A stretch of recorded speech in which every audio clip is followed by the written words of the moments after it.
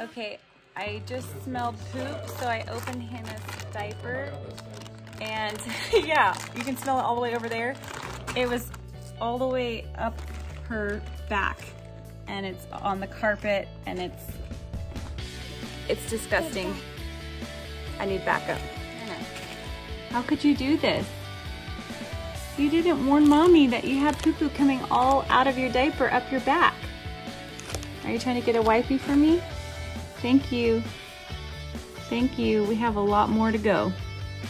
I needed like a hazmat suit for that diaper change and Hannah did not even give me a heads up. It just seemed like a normal diaper change and then as I went in, the poop just went further and further up her back and now she's completely stripped down and her outfit's going in the trash because it's disgusting.